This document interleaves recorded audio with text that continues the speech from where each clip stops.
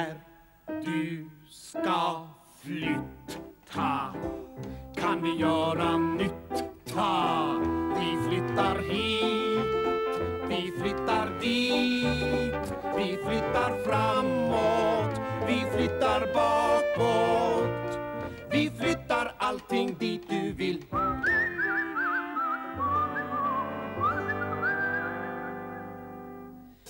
Vi flyttar nära eller långt, långt borta. Vi flyttar si, vi flyttar så.